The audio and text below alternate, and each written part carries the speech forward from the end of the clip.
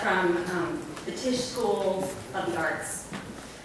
Um, many people came together to make this extraordinary forum happen, and I think it's the first of its kind.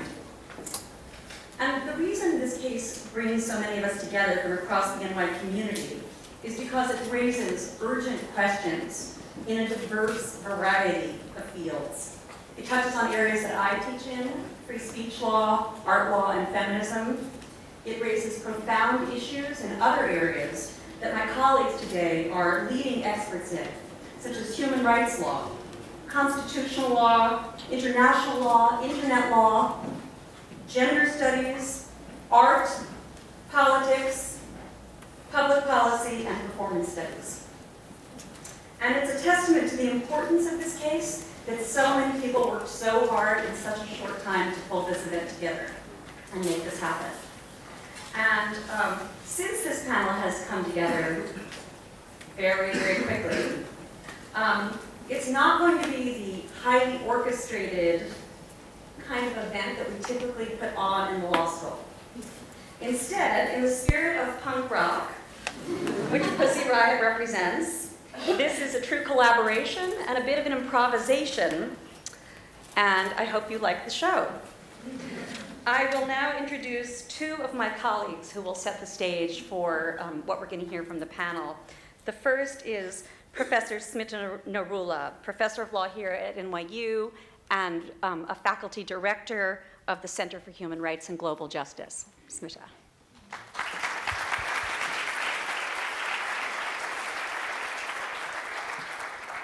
Thank you very much, Amy. Thank you all for being here today. It's wonderful to see such a turnout. I've been tasked with the impossible task of providing a succinct introduction to the issues. So it is a complicated subject with many fields being addressed and touched, as Amy noted, but my goal here is simply to provide an overview of the case and some of the dimensions of the debate and human rights issues of concern. The colorfully masked feminist punk rock protest band Pussy Riot has generated a great deal of attention since five of its members performed a punk prayer in Moscow's Cathedral of Christ the Savior on February 21st of this year. In early March, three members of that band, Maria Alyokhina, Nadezhda Tolokonnikova, and Yekaterina Samutsevich, were arrested as a result of that performance.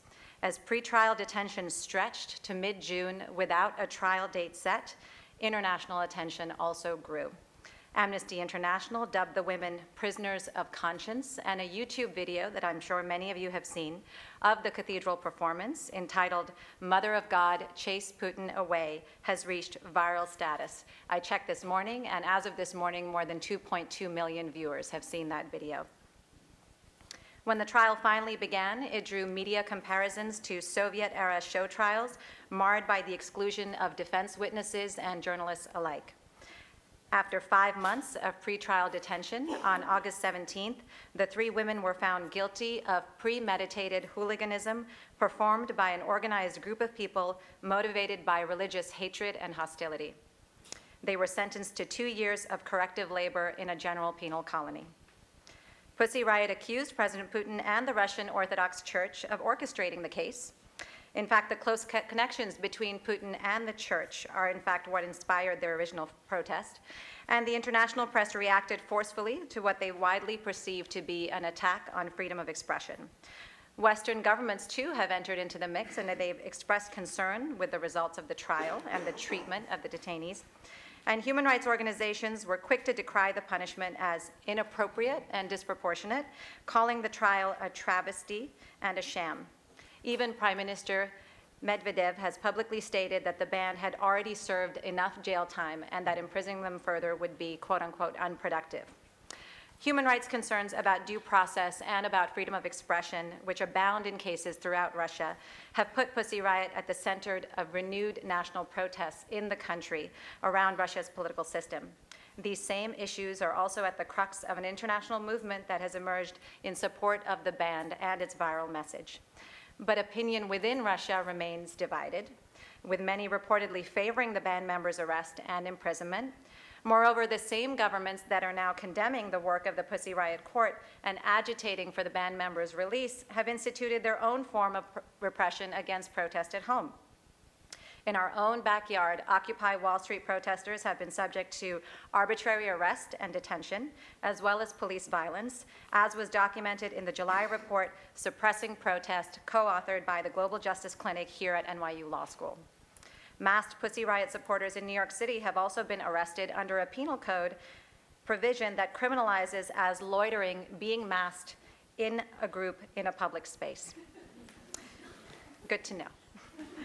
Issues of protest, public performance, and a fair trial and punishment are indeed ripe for discussion in Russia, in the United States, and around the world. It's a privilege to have here with us today Nadezhda Tolokonnikova's husband, Pyotr Verzilov, who will be joining us shortly, and Pussy Riot's defense team. We look forward to hearing your views on the case, the controversy, and the future of protest in Putin's Russia and beyond. Thank you all for joining this conversation today.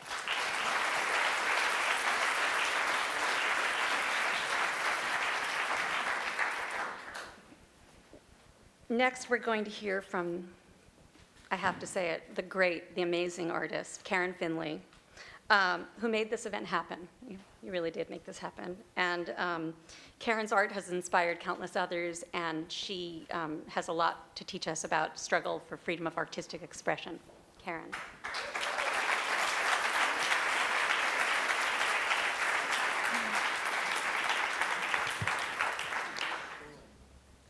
I want to thank my colleagues and the NYU community for working together for making this happen.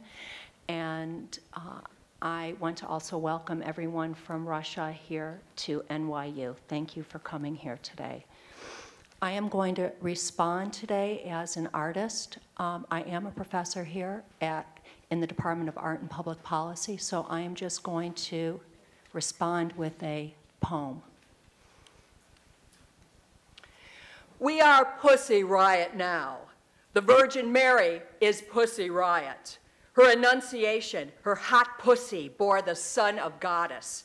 Eve, the first woman, is so Pussy Riot, taking that first bite of apple, leaving the Garden of Eden to a snake. Cleopatra is Pussy Riot in her pussing boots, down the Nile to meet Anthony, claiming the throne as her own. Joan of Arc is hearing voices, fighting for dear France and the good old C'est la vie. Sounds like pussy to me. Elizabeth I, the Virgin Queen, purring my hot pussy. Riot, riot, riot. Pussy, pussy, pussy. Mary Magdalene, oh, don't forget her. Her body is hers and ours. Pussy Riot, touch me. Frida Kahlo, her audacious creativity without the use of tweezers. God bless. Gertrude Stein, a pussy is a pussy is a riot. Is a pussy a pussy riot puss. Josephine Baker is Pussy Riot, a la banana dance in Paris. How dare she? Virginia Woolf is writing it all down, telling it like it is or isn't. Sometimes Pussy Riot is like that. Anna May Wong is surely Pussy Riot, going against type for the full screen. Sojourner Truth is Pussy Riot, the Underground Railroad, an abolitionist, moving us forward, setting the course. Georgia O'Keeffe painted Pussy like no other. our petals and undulations, our spirit we possess, our very pussy nature. Oh, take me, pussy. Oh, make me, pussy. I am Pussy Riot. We are all Pussy Riot now. Free Pussy Riot.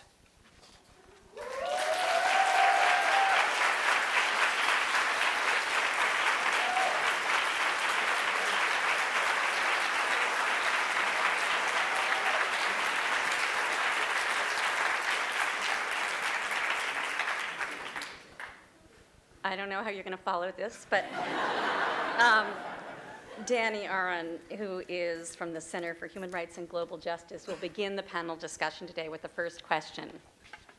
Danny. Uh, I'll make less copious, less copious use of the word pussy. uh, the first question, um, as Amy has said, I'm from the Center for Human Rights and Global Justice. So the first question is from a legal perspective. Uh, we're wondering, uh, we understand that you have an appeal to be heard on October the 1st. Uh, and we're uh, wondering if you could please take us through the legal arguments uh, that you'll be putting forward at the hearing. And let us know what role, if any, international law and international human rights will play in your response and in the response of the government.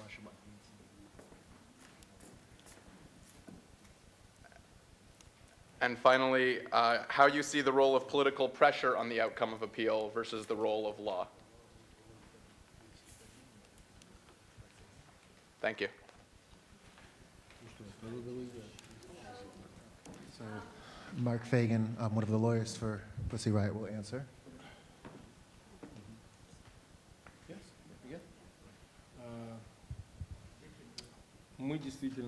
We really, on October 1st, are taking part in a, in a, constitu in a, in a constitutional re-examination of the case. This is very important to note.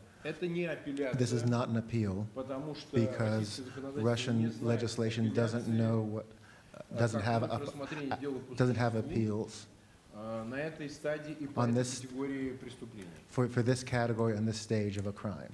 Кассационная инстанция – это всего лишь законность, рассмотрение законности и обоснованности приговора, не вступившего в законную силу. Okay, so the cassa- the moment of cassation comes in only, А Кассационная инстанция, то есть вторая инстанция, это лишь рассмотрение законности и обоснованности приговора, не вступившего в законную силу. okay, this is, um, the um, cassation point is just uh, examining the constitutionality of a um. decision. Это всего лишь однодневное, This не is более only a того, one-day re-examination. Э, Не опрашиваются свидетели, There will be no witnesses. не э, изучаются письменные There will not be any доказательства, studying of the новые written evidence. свидетельства There и won't be так any далее. new evidence or anything like that. Это только This is just в рамках in the кассационной framework жалобы of a рассмотрения аргументов constitutional сторон. complaint about um, the, the arguments of the sides here. This is in many ways a holdover of Soviet law because the second uh, level of the, the, the constitutional uh, level um, of, for this sort of case is really the last, the last place you can um, re-examine a, a uh, decision. There are other um, oversight um, bodies, but they really are not um, important for the reexamination of the case. The thing is that this case is a political case. It does not have really any, um, any juridical foundation. Because our defendants are are absolutely innocent. They, they um, committed an administrative offense. This is a, a little fine and that's it. There is an article in the Administrative Codex that says they pay $30 and a fine for this.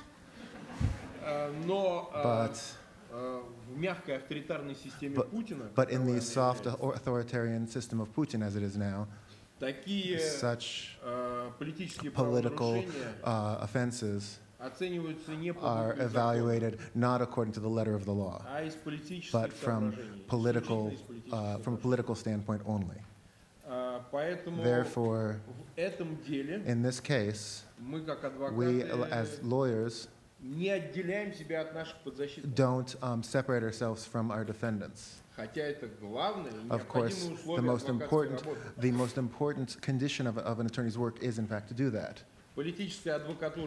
But political, but political um, legal advocacy in Russia is possible only if the attorney and the um, the attorney and their um, defendants and the people um, who represent them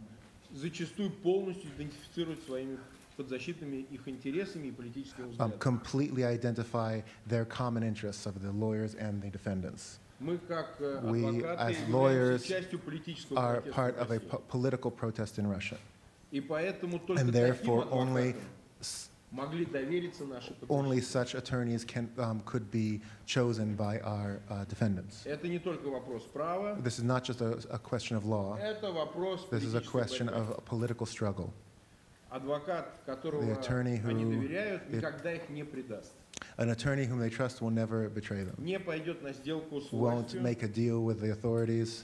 И это для них And for является them, this is краеугольным, the- главным The, так сказать, the аргументом most в пользу important выбора argument защиты в in, нашем um, лице. in favor of choosing us as their attorneys. Мы понимаем, we насколько это understand звучит несколько Uh, That this sounds a bit противоестественно для unnatural присутствующих for здесь the, those people, young, young um, jurists here. But please, um, but please make allowances for the fact that you're dealing with an authoritarian system. And um, beyond the impossible, иным способом отстаивать гражданские права. um, th- this is the only way. This is the only way that we can um, insist on civil rights. Прямое столкновение с The- um, системой, a, a, a straightforward conflict with the system. политические, политическое противостояние открытое и публичное – это единственный способ The only защитить way наши to defend доверители. our, uh, the people we're defending is to ha- go into an open confrontation. И смысл этой open политической political борьбы confront- рождается confrontation. The право. point of this, this political confrontation is law. the current system in Russia, the current legal system in Russia, very distantly is, um, is, a, is a somewhat distantly like the national socialist system, or like, like um, a, corporative, a corporate state in Italy, where law is limited by the political will of the ruling of the leading class.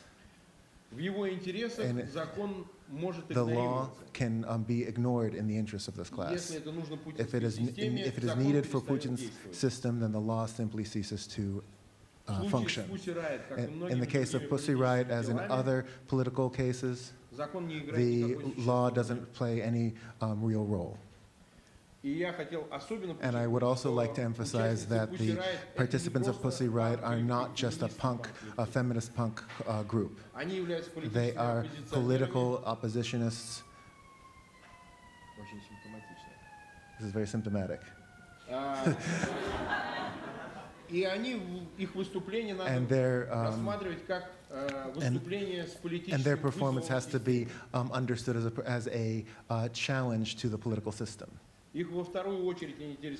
Uh, the second thing that uh, they're interested in is they're interested in um, the the um, the, the, the deals between the um, system and the church. That's what they're also interested in. But first of all, um, this is a political challenge, a political protest, and outrage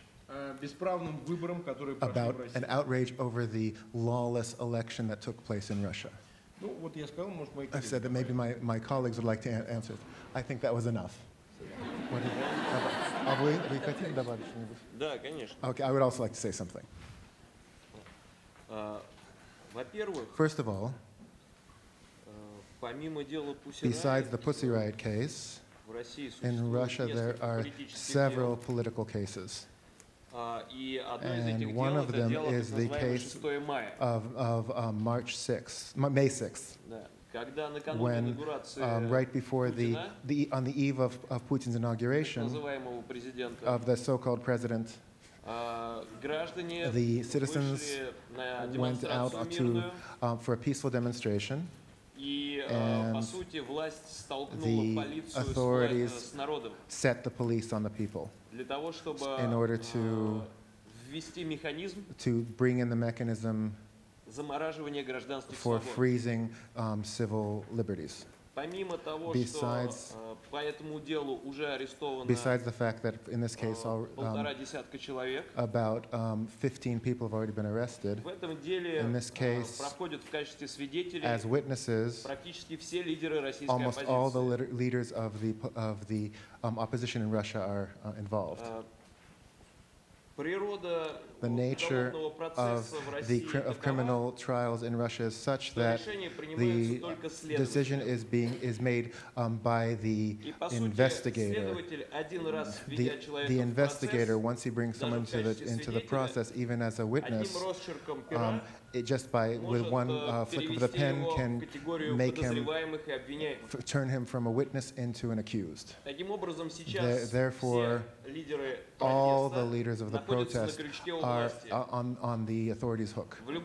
At any moment, the leadership um, could, out of um, political considerations, just um, put them in prison. Two of my colleagues, Violetta Volkova and Mark Feygin,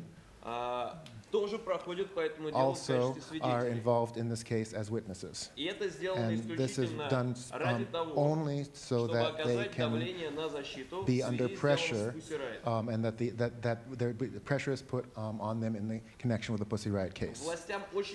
The authorities really don't like it, the position of, of attorneys who don't make deals with them essentially the role of an attorney in such a corrupt uh, system of um, law and order can be reduced to the role of, of someone who brings money from the client either to the investigator or to the courts. And a certain number of attorneys are perfectly happy with the situation. But we are not happy with the situation. We think that the status of an attorney does not allow uh, an, uh, an, attorney to, to violate the, uh, the ethical code and the oath that he gives when he receives his, the status. And, there, and, therefore, we, st we started to defend the political activists since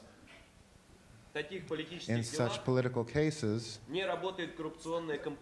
the corrupt, the corrupt, so that in such political cases, the corrupt side of things just can't work. And so it work. So what we get is is uh, pure work, good work. So trying to take the um, attorneys out of the Pussy Riot case, the, the, authorities are trying to pressure us, and maybe when we come back to Moscow, they could either Violetta or Mark, they could arrest either Violetta or Mark for, out of some sort of trumped up charge. A separate issue is the media pressure on, on the part of the state, since the state TV channels are creating, are creating their own particular image of the people that the authorities don't like. From the very beginning of the Pussy Riot case, in the course of over, the, over six months, on all the leading TV stations in the country, which are all in some way or another under the control of the state, our defendants have been, have been shown in the most, in the most horrible light. They have been presented as, as blasphemers, in other words, blasphemers, as people who are not worthy of the name human and these people who watch TV and, um, and are not critical about the information that is given to them, they believe this. Therefore, when we had a, a trial, the authorities, in the same way, um, were characterizing the attorneys. And now they say that the attorneys are the ones who put them in jail. То есть судьи и прокуроры That, хотели that, they, выпустить, that, they, that а the, адвокаты the посадили. judge and the, the prosecutor wanted to release them, but the attorneys um, put them in jail, which is just absolutely absurd because the attorneys don't have the authority to put people in prison. They can only get people out and free, and free them. So, in order to provide a basis for why there be why the attorneys would put them in prison, they say the authorities say these aren't, aren't attorneys; these are extremely liberal politicians, and, and they are scoring political points in this case. I don't know if if prison counts as political points, but it's close. It's it's on the horizon.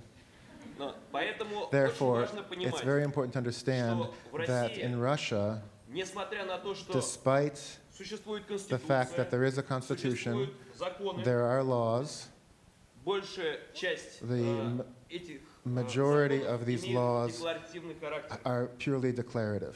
Фактически они не In применяются. fact, they just are not implemented. И э, And по политическим делам. По The- остальным делам In, in всё political решается cases. за In деньги. other cases, everything is decided for money.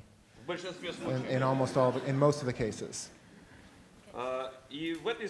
And in this connection, I think that, that it's absolutely correct that here there is an understanding of the fact that this is a political case. This is very important to understand. This is not a criminal case. This is just a, exclusively a criminal case. Thank you. Next um, on, our, we, on our list of questioners is um, my esteemed colleague, Burt Neuborne from the law school.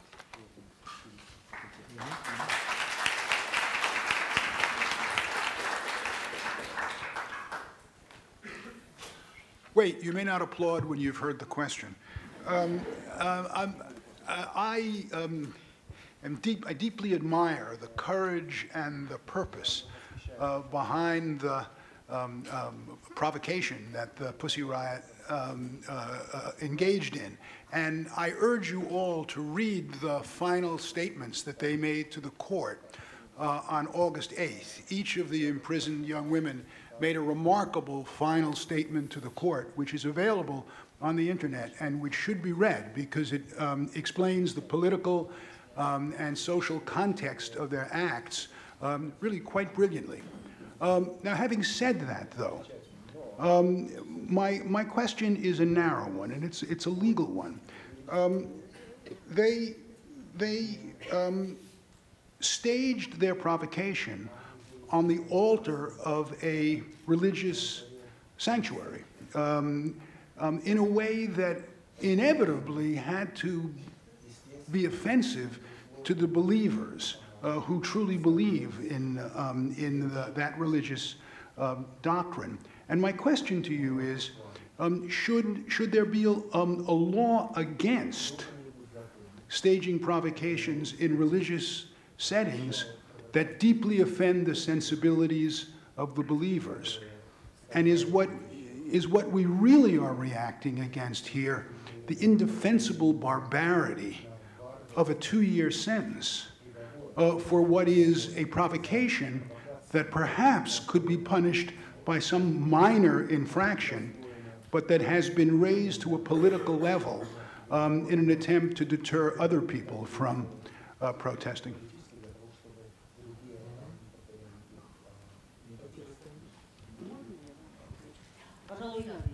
I will answer. The thing is that you won't believe, but we have a law like that. And, and my, my colleague Mark Feygin was just speaking about that. This is an administrative law that, that um, gives a, that, that, that has a punishment for offending the believers. And theoretically, when such things happen, they are punished specifically that way with a fine. We don't even have the, the possibility of, of temporary imprisonment, imprisonment for such uh, violations. And therefore, in this situation, in this particular situation, um, the entire um, the entire community of lawyers supports us. Because this administrative law should have been applied. This is both, this is both um, communities of lawyers.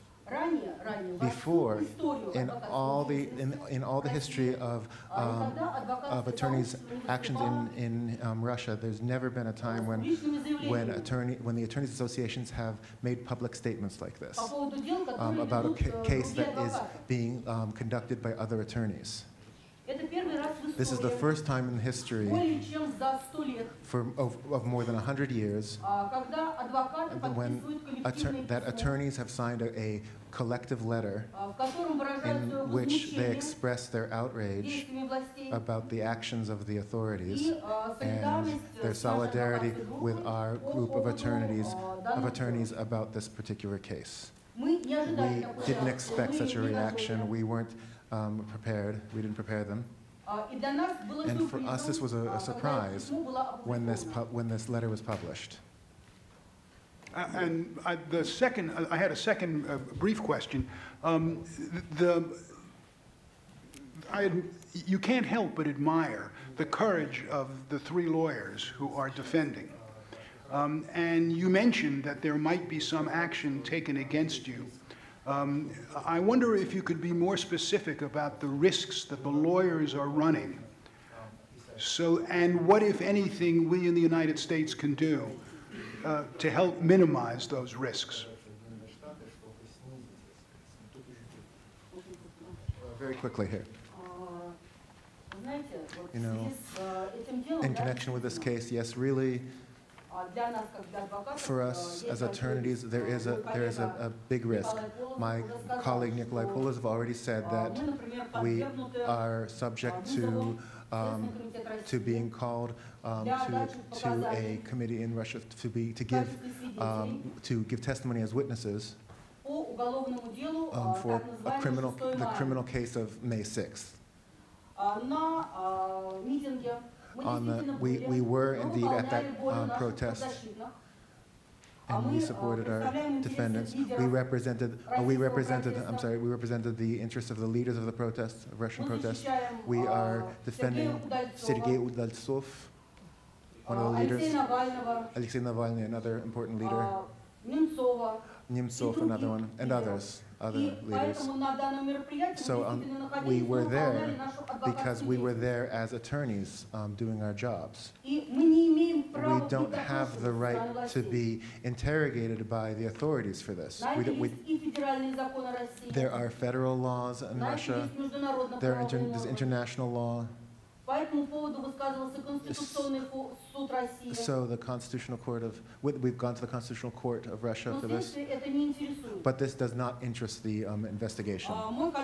My my colleague Feygin was interrogated, was questioned about this case, and I was summoned twice um, to an investigator, and twice I refused to come. I made a public statement um, about this. But when I return to Russia, I'm, I'm, waiting, I'm, i expect a forced, um, a, a forced summons and maybe a, a search, which will therefore violate the rights of my defendants. Unfortunately, to do something in Russia about this is impossible. You can only battle it after the fact. And I'm just going to add uh, a, a, a little bit. На этом митинге, на On- котором at были this огромные protest where there was a столкновения, huge э, с confrontation полицией, with the я police, выступал со сцены в I момент, was кульминационный on, момент, I was on я the stage at the, cul- at the призвал culminating последовать point за лидерами протеста и сесть, And I, присутствовать I, сидящие I, I- and I забастовки. called for the, for people to sit, to have a sit-in um, Мои protest. слова могут быть My истрактованы по words статье could be under- 212 understood according to a particular Уголовного law кодекса of the Российской criminal Федерации code призывы к as массовым a беспорядкам. um, call to mass disorder. This, this recording has been put on the internet, and I have been shown it um, for identification, and they gave and they and they asked me why I summoned people to um, why I told people to sit. Since закон не действует, это может быть интерпретировано как призыв к массовому беспорядку. Since, since uh, the law doesn't really work, this could be considered a um, call to mass disorder. And such things happen all the time. And I had this time. Oh, I had a situation, more a funnier situation. Oh, I had the an uh, organizer's badge hanging on my neck, mm -hmm. and that's it. That was enough.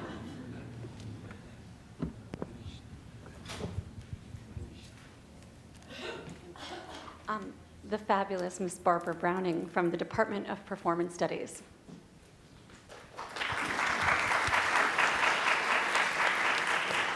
Um, Thank you. Uh, At a recent panel, also here at NYU, that was actually organized by Elliot, who's translating, um, it- which was also on the Pussy Riot case, concerns similar to those of uh, Professor Neuborne, who spoke uh, earlier, were expressed regarding offending religious sensibilities.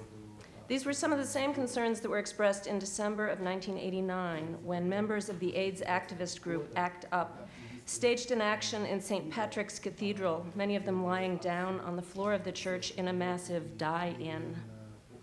About 150 people were arrested. Ed Koch, who was mayor at the time, recently noted, that the, noted the similarities between the ACT UP and the Pussy Riot actions and actually expressed, I'm quoting, delight in Putin's firm response to what he characterized as religious hatred. But at the time of the ACT UP action, many of those arrested presented themselves as deeply invested Catholics for whom their protest constituted a sincere act of faith within the church. In fact, one former seminarian who was arrested said, The strongest prayer I've ever made in my life was on the floor of St. Patrick's Cathedral. So, my question is to what extent would you characterize Pussy Riot's action as a religious, not an anti religious act? And what would the legal implications of acknowledging that a feminist prayer might be an act of faith?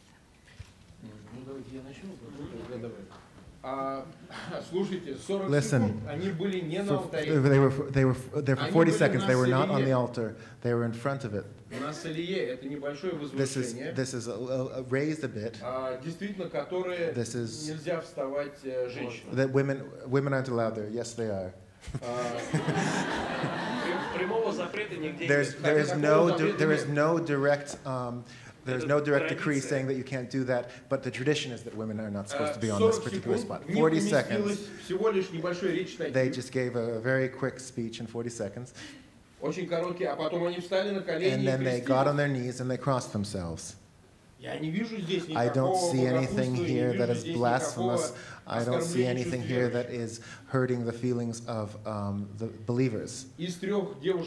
Of the three women who were arrested and two are um, hiding, three of them are, are um, Russian Orthodox believers and um, church members. Надежда Tolokonnikova is, is more of an agnostic, and only Yekaterina Samutsevich, um, though she was um, baptized, is an atheist. And so you understand there was no violent character to this action. And, and the violent character is what's essential for this particular law. Они не They сопротивлялись, didn't они resist. а, не а, нарушали They обряды didn't в обычном violate понимании, the поскольку не uh, было литургии. rituals because there was no liturgy Они at the не time. разрушили ни одного They церковного didn't предмета. um, break a single church object. Они а, не оскорбили They действием, didn't, um, they didn't там, я не знаю, offend обнажив себя anyone или with their что-то, actions. They didn't кого-то из strip. присутствующих They в didn't храме. offend anyone in front of them. This was a short political action that, that, sh that should have been uh, punished administratively. They should have had to pay a fine. And, and that, um, and you can see that from the materials of the case. But no one cares. They were just put in prison. Thank you. Next, um, another esteemed colleague from the NYU School of Law, Stephen Holmes. Thanks. Um, so I'm a little surprised that you haven't mentioned the nature of the cathedral in which the video was taken. It, it, could you say a little bit about how the cathedral has a political role in Russian, uh, the- in the- in the Putin scene, and that it's different from a small church in a, in a village somewhere? Okay, so it's the first, if I could ask a second question. The first question was about saying something about what the Kram is and how it, how it functions politically. But you've said, all of you, that uh, this is a political case, not a legal case. But you haven't said much really about the politics. So what, can you help us understand, one, what was motivating, what's motivating the Kremlin? Putting Khodorkovsky in jail makes sense. You can steal his company. But as far as I know, there was nothing here to steal, actually, in this case. They are not very powerful actors. So what did they, what were they trying to do? Who were they trying to intimidate? Uh, uh, is there a huge punk opposition that they're going to chill? No, that doesn't seem to make sense. Are they trying to mobilize uh, traditionalist support against the Moscow crowds? Is that what's going on? So if you could tell us what the purpose was, and then have they succeeded or not in doing these things? Для начала о храме Христа First, Спасителя. as far uh, about the um, the Church of Christ the Savior. Вообще храм Христа Спасителя The Church был of Christ the взорван. Savior was blown up 30-х годах in the коммунистами. 30s by the communists. Потом там был бассейн. Then there was a large swimming pool, И э, после, и an, an open swimming, open air swimming pool. после того, как э, Советский And Союз after the Soviet разрушился, Union fell э, его apart, решили um, they восстановить. decided to restore the cathedral.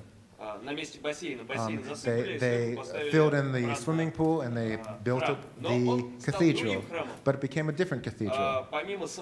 Besides the actual construction, there was a, uh, there's a, a, whole complex there. There's a hall of, um, of church. Uh, there's a hall of church uh, cathedrals. There's some cafes and there's a car wash. And, and offices. And offices and offices for some of our co colleagues who are lawyers. Since uh, most uh,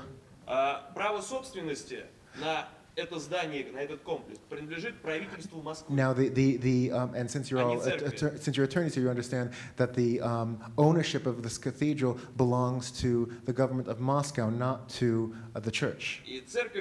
The church takes only a small, part, basically rents a small part Everything else is um, not a religious spot. So, so they say the, the, the punk prayer in the Church of Christ Cathedral is bad. But, na, but, really, in this, in this little um, area, this church area that's just 10 meters from the altar, in May, the, the Boney M group, which is a.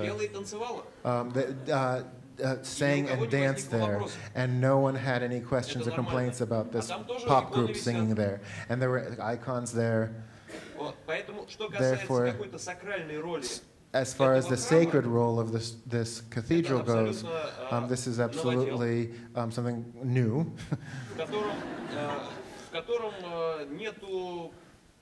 that has no spirituality in it whatsoever. There's only business И еще один маленький And момент. one other thing. Э, Церковь The на church территории этого храма on the продает ter- различные territory of вещи, this cathedral свечи, um, sells, э, ca- золотые sells крестики, candles, gold там очень большой crosses. оборот драгоценных There's a металлов. lot of um, there's a lot of precious И metals сувениров. going through there and, and souvenirs. Так вот, суд, So который осудил the Pussy Riot, the Хамовнический uh, суд, the Khamovnichi court that um, that convicted Pussy Riot в начале лета at first, in the beginning of the summer, decided that everything that gets sold in this uh, Cathedral of Christ the Savior is not, it's not about um, buying and selling. These, uh, um, instead, you're, you're um, giving donations. Um, rather than buying and selling. And, and this is just a fake um, deal. But but um, thanks to the um, power of the patriarchate, the uh, court felt that this is just perfectly normal, that the, this fake deal. Oh, um, now, why this particular place was chosen for the action of Pussy Riot. The thing is that the church, but church is separate from the state according to law. But three days before the event, the patriarch announced to all believers, and the, the patriarch for, for all, all the um, believers is, is very holy, and, and what he commands is, is um, obligatory to all believers. But the patriarch said that believer, that Orthodox believers should not go to protests. He forbade them to go to mass protests. And he also, he also basically called on them to vote for Putin. He said, I believe in Putin. the young women in their song saying the patriarch Kirill believes in Putin. He should believe in God, but he believes in Putin. So basically, from, because of all this, um, they chose this particular Cathedral. And Patriarch Kirill um, is um, in charge of this cathedral. Therefore, they chose this one. They came to this one. And to continue, our assistant, Alisa, she'll tell a little bit about, um, about who this message was for. First of all, based on what my colleagues have said, we should, you should understand that the uh, participants of Pussy Riot were uh, bringing um, Russia's, um, Russia's and the whole world's attention to the problem of this, this um, concord between the church and the state. Before it, the, the be, before this um, action, before this performance, you could say with complete certainty that Few people in, in Russia were thinking, thinking about this problem of church and state.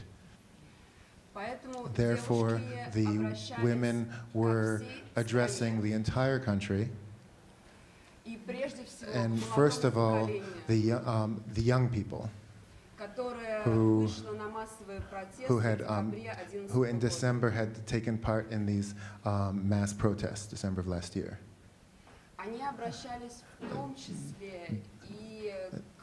They were addressing also the older generations. And, and you can say, and we can say with complete certainty that they achieved their goal because now the most tense discussion in Russia is the discussion about the existence of God and the extent of his, his um, influence on people's minds. And this question, and people are answering this question not in the church. They're arguing about this on the street. So, this is the case when the question of the existence of God has become a political question. Um, Next on my list is the great Jason Schultz, from, also from NYU School of Law.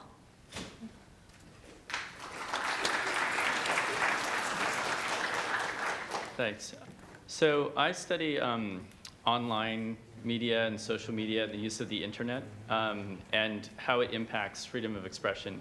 And um, I find the Pussy Riot situation very interesting because um, some people will put things online anonymously um, or they'll only be online, but this was a physical, uh, an act in a particular place, which then also was online.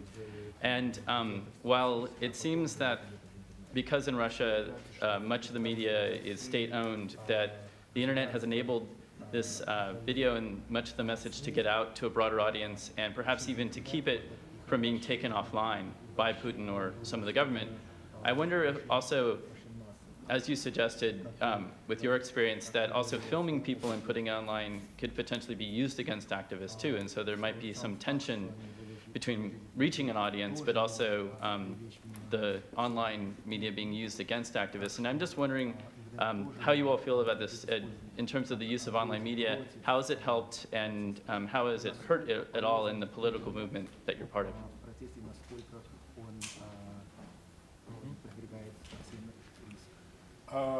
Дело в том, что The thing is здесь that не приходится here выбирать. you can't choose.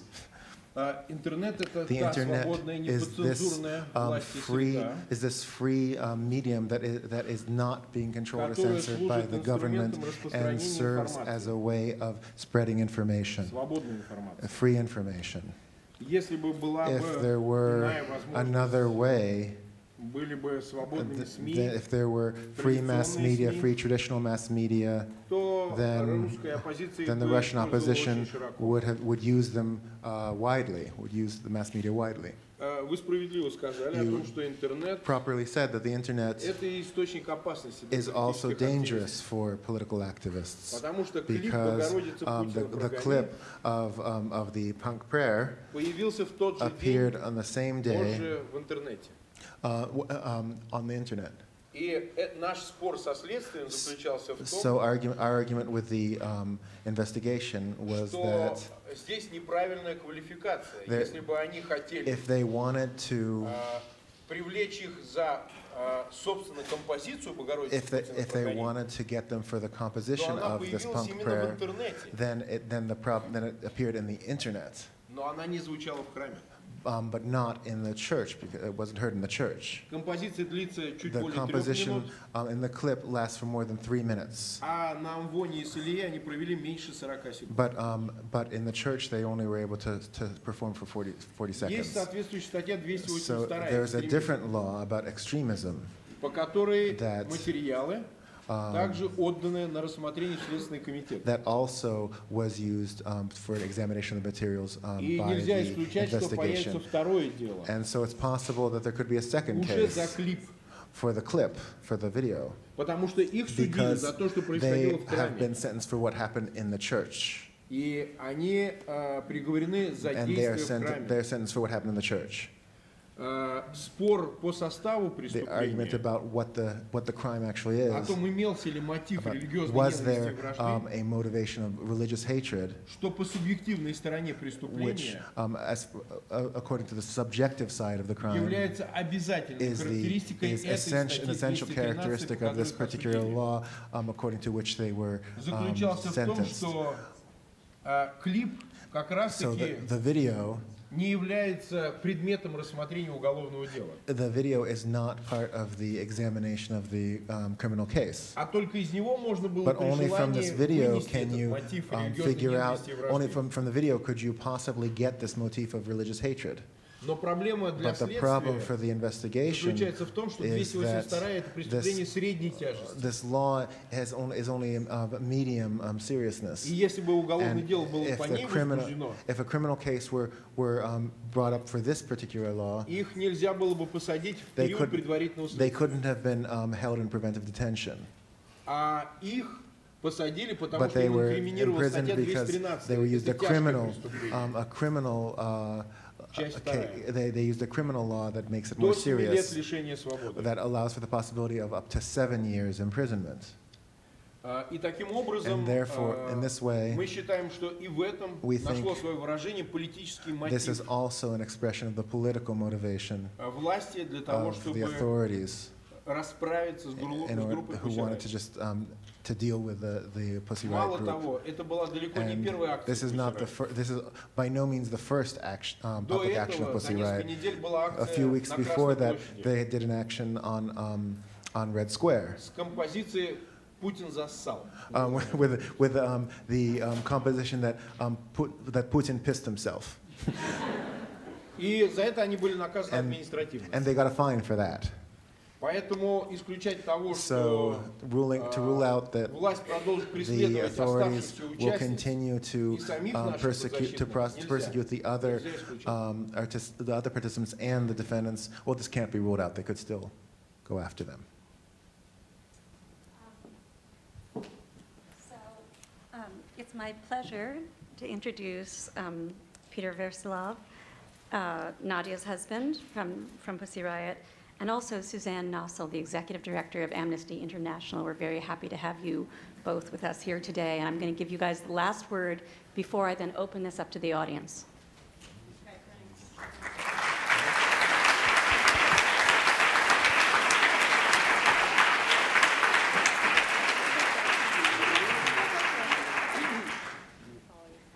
Hello, everyone. Um, it's a big pleasure to be here in New York. Um, I was um, I went to the prison to see Nadia on Monday, and well, once again we were discussing. Well, I told her that we're going to go to the United States and meet all these people and meet Yoko Ono and everyone else, and. Um, and she's like, yeah, you, I'm, I'm sitting in Moscow pretrial detention center number six, and you get to go meet Yoko Ono. All right. That's cool. Right, and so once again, we were discussing how uh, it is incredible that, well, people all over the world have really been able to take up the girls' cause and to really understand their values and basically stand up in their support. Uh, there was this beautiful article in the New York Times which ended with uh, the reporter talking to this 12-year-old girl from Queens, I think, and uh, well, the girl was like, well, yeah, and I think it's really cool to be a riot girl nowadays because these Russian, this Russian group really showed the way. But of course, of course, this was a 90s thing, said this 12-year-old girl, and the reporter was like, really, a 90s thing? Like, yes, so it was a thing back in the 90s, but it's really cool again because of this R Russian punk band which got arrested. So, and I'm, I'm just saying this to point out that it really is incredible that, uh, well, Americans and American teenagers were able to read the values uh, which were cultivated and put forward by the women of Pussy Riot. And well, that basically means that their cause and the months they're spending in prison, that's all that is not worthless and well, their fight is living on and then everything they stand up for will prevail. Thank you, everyone.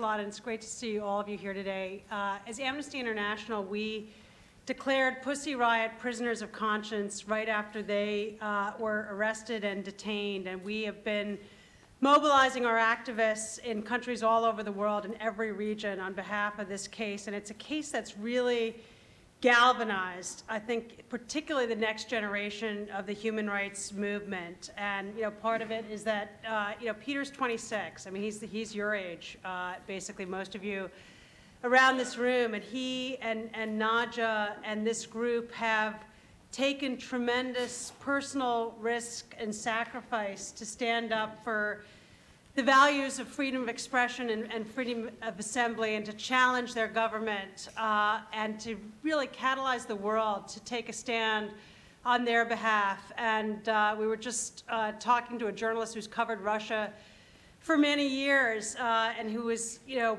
bring, brought out an old poster to, to, to remember that it's been uh, you know, more than 20 years, I think, since people have really looked hard at, at the human rights situation in Russia, uh, and that Americans in particular and, and, and people throughout the Western world have focused on what is a really disturbing climate of a shrinking space for civil society and for human rights defenders, and that space just got smaller this week. Uh, and there will be Russian groups. It's not just USAID programs that will be affected, but there'll be Russian groups that are affected deeply by what's happening. And I think that, that we want to just uh, tribute Pussy Riot for their courage uh, and the stand that you've taken and to say that as Amnesty, on behalf of our 3 million members around the world, we're going to stand with you until Nadia and Masha and Katya are free and, and they can express themselves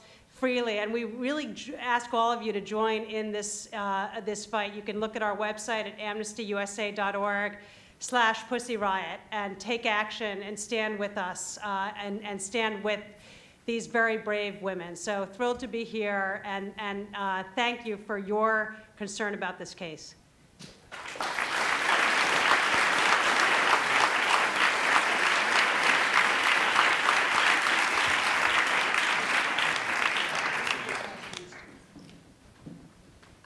Um, Now I'm opening up to you guys for questions for this panel, and there is a mic set up if you want to go over there um, to use it.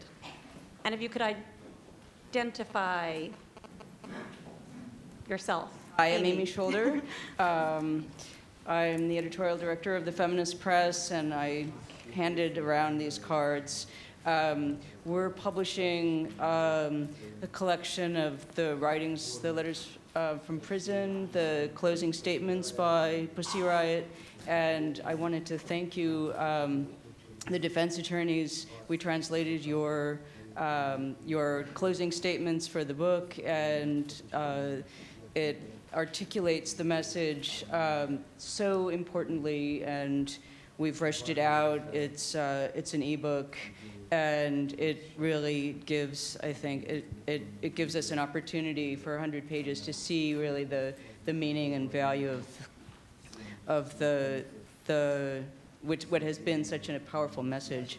But um, in this process for of putting this book together, I was working with Alisa Obraztsova on the permission to publish and the copyright issues.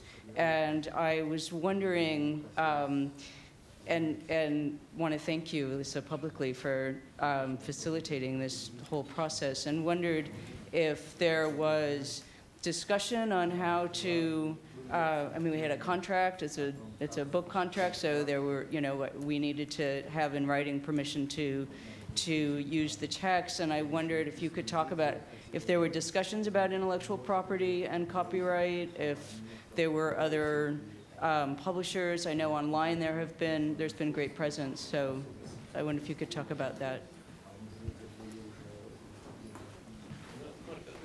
Да. First of all, cop copyright is important in, in order not to permit not to permit the misuse of these materials. In Russia, this is a, a very important problem because there's a huge pressure on our defendants, and they're accused of of being blasphemers and that they are starring in porn films. And so there's an amazing stories, incredible stories about them. And therefore we were forced to defend our defendants um, to, to, defend, to defend their copyright and their trademark. Recently, I learned that in Germany, some, some person gave. Uh, uh, uh, put in documents to try to get um, to, to sell alcohol called Pussy Riot.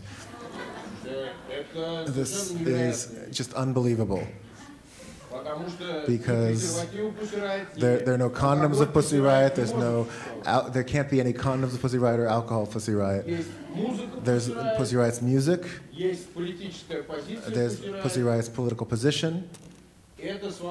That's free, but everything else is just um, commercial, and we're trying to, to stop that. We're trying. Um, in, we have about 15 minutes left and many people wanting to ask questions. And I'm going to suggest a couple of things to the questioners.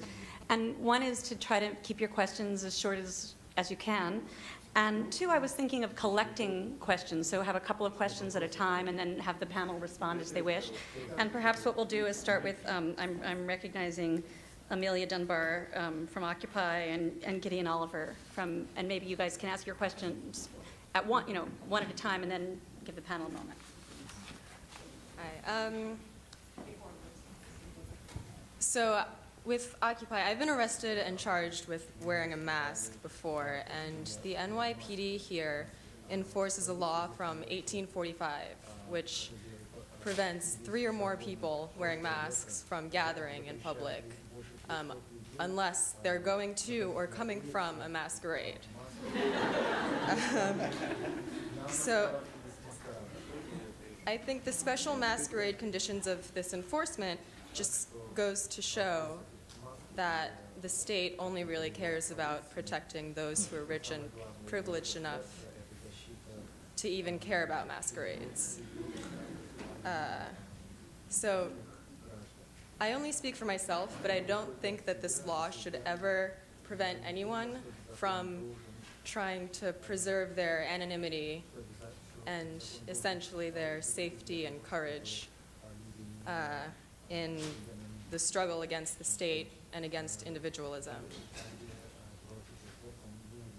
So my question, can you please elaborate on uh, the empowering and unifying effects of mask wearing in fighting state suppression?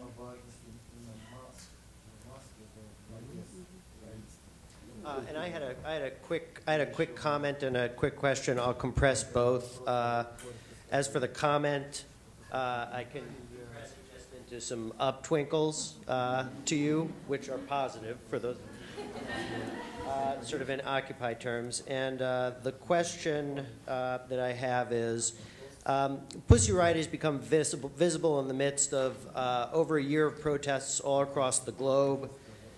Uh, in many countries, including the U.S., we've seen extremely aggressive and often unlawful police and government responses to these protests. Uh, how do you see the Pussy Riot protests and the Russian government's responses fitting into this larger context?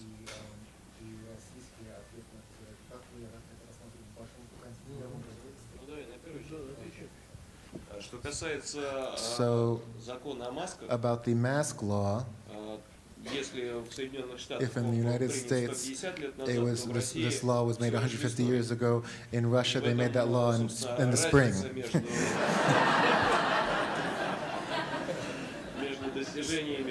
so this is this is this is the difference in our accomplishments in law.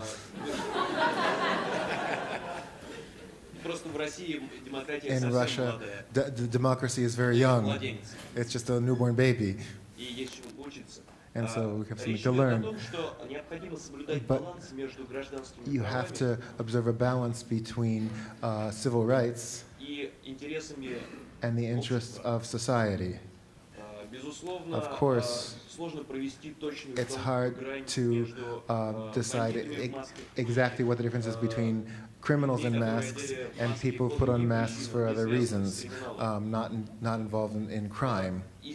And here it's important that in a democratic society where where there are opposing forces in the courts, um, that, that the two sides can, um, can determine um, where this boundary lies. In my opinion, it's, it's partic particularly in court that the court, in courts that these things that are not completely regulated by the law are determined um, according to concrete cases. And here it's very important to keep in mind particularly the, uh, the way in the legal process and the way um, in which this works with the, the laws. Uh, just a couple words about Pussy Riot as part of the global protest here, both. of course, Pussy Riot can be understood as a kind of leftist project, anti globalist, for instance, but this isn't the most important part. Not at all. This is first of all an open civil um, conflict with a, an authoritarian regime. And so the, the um, danger is real. The Occupy movement in America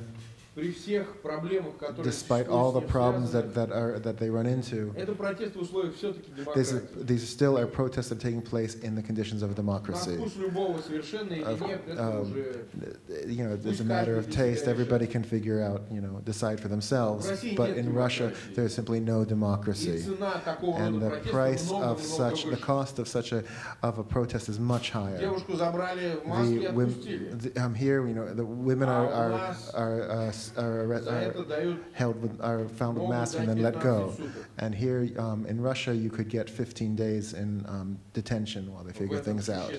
So that, that's in the best, best scenario. So that's a very big difference.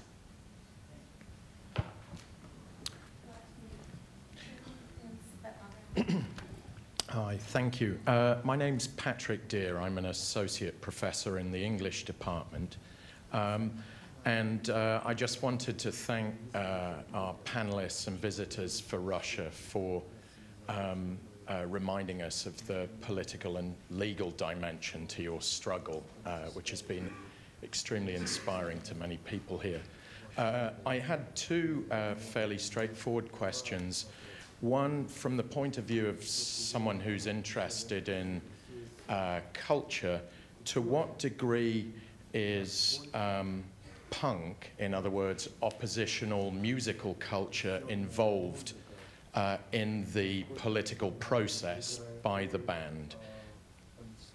It's, after all, called a punk prayer. Uh, and my second question is um, when you watch the original video rather than the, the three minute video, it's initially hard to understand what's going on. You've referred to those amazing 40 seconds in front of the altar. To start off with, you, you um, referred to it as a speech, and then um, you made the point that it was just a 40 seconds of performance. And in that respect, it really was not It didn't involve acts of blasphemy. Um, here it, it was described as lip syncing. Uh, what was it from uh, the band's point of view? Was it all three things speech, performance, lip syncing, music? Does the law make a distinction? Does it matter?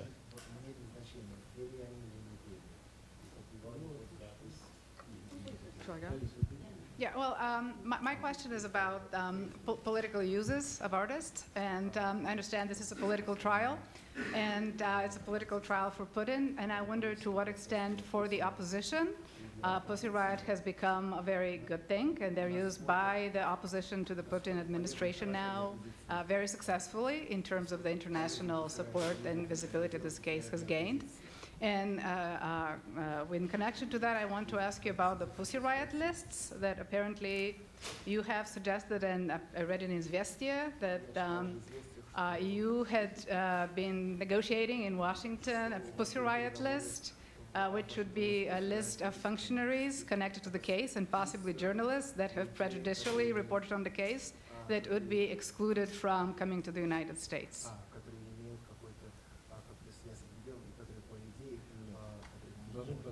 Which from our you know, free speech point of view would not be a good thing.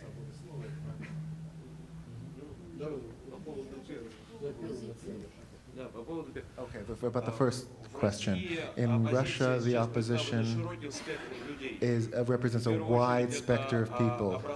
Uh, of course, first of all, educated people who live in um, big cities and who are critical um, about the information that they get through um, the state media. These people uh, listen to all sorts of music, but punk, in my opinion, is the most is the most real answer to this pressure from the state on the um, on the opposition as an extreme form of nihilism that is presented in musical form. If you remember this, the sources of punk, then punks were protesting against the system. And here in this case, I, I think that's the most uh, appropriate music to be used for protest. But I, I, repeat that there's a whole range of, of oppositional musical groups that play rock and rap and all sorts of things. But the punk is the, is the brightest, um, the, the most noticeable form. Второй вопрос. Please repeat second question. No, Pussy Riot list. Давайте, давайте ответим на Pussy Riot What was the nature of the act in front of the altar? Was it speech, performance, music, lip syncing? Does the law make a distinction about that?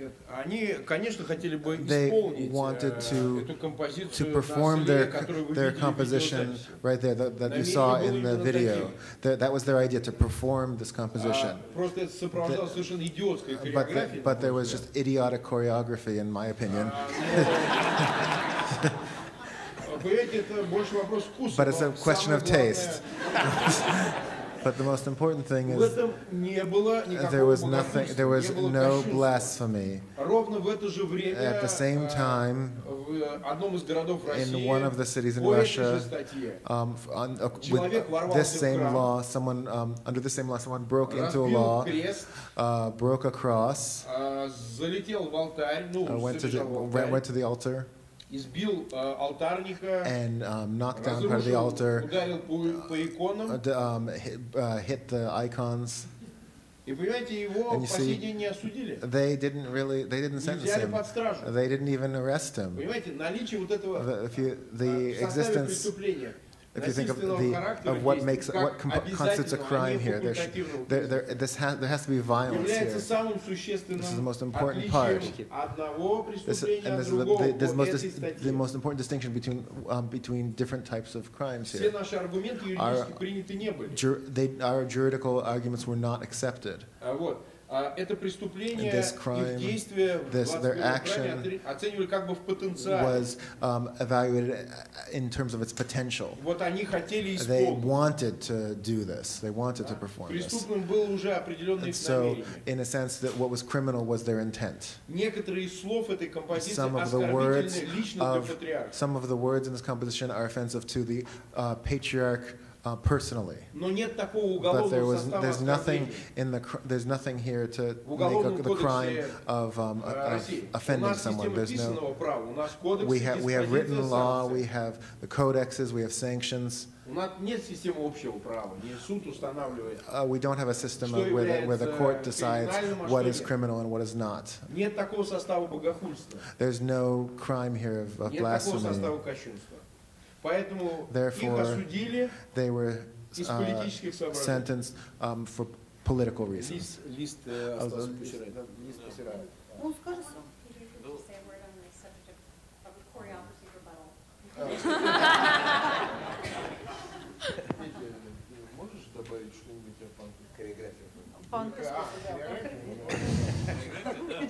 well, in the um, the the investigator on the Pussy Riot case, he described the choreography as a quote, they were hitting an invisible enemy with their fists. So this is basically the language which was put in the uh, official accusation. Well, I don't know. I think the choreo- chore- choreography is quite interesting for uh, well, kind of a rebirth of Riot Girl, which is essentially happening in the case of Pussy Riot. If you look at what was happening on stages in early 90s in the United States when all these Riot Girl bands were on stage, I think that choreography was much more brutal than, than what the Pussy Riot Girls were doing in the church. Uh, obviously, they were doing that in uh, clubs around the United States. Here we have a Russian church, but, uh, well, Russia is a much more brutal and uh, hard to understand country. Да, Пусть Да, по поводу листа. About the list, the Pussy Ну, Riot сразу list. скажу, что I say «Известия» immediately that, это крайне that ангажированная газета. Известия, the newspaper you read this in, is a Раньше very это была такая politically официальная engaged советская газета, сейчас um, она официальная newspaper. практически кремлевская Now газета, it's и an, то, что basically an там official написано, Kremlin делить на paper. четыре части. You just have to divide everything that they put in there into four понять, о parts. чем речь. Just divide it into А, но quarters. насчет листа, правда, But uh, about the а, list, the в truth is Соединенных Штатах that in the существует U.S. there законодательная is инициатива, так um, называемый a а, bill, акт Магнитского, uh, the Magnitsky Act, а, который предусматривает um, а, существенные ограничения для лиц, that provides for э, um, limitations on, on, people, on the entry um, onto the states by people who had something to do with the Magnitsky case. And there is a footnote saying um, that also covers other people who violate human rights. And in, the case of Pussy Riot, it's the, the, um, the, violation of human rights is obvious. You don't even have to be an attorney to get that. So, of course, this is a, a way of, of putting on political pressure pressure on the authorities who, which are acting not according to the law. I feel that all the people who are in some way or another involved in violating human rights should be judged by the world community and included in this list, including people who are involved in the um, imprisonment of Pussy Riot, absolutely. Um, I'm sorry to have to do this, but we're out of time. I want to thank um, the lawyers, and I actually would like to ask Peter to say their names because I realize that um, I was waiting for him to pronounce them so that I didn't embarrass myself with my inadequate Russian. So would you please say the names of all of our, our panelists for today? And thank you, Peter, as well. Okay, then let's once again uh, give a big applause for Violetta Volkova. for Mark Feygin. For uh, Nikolai Polozov. And for Alisa Obraztsova.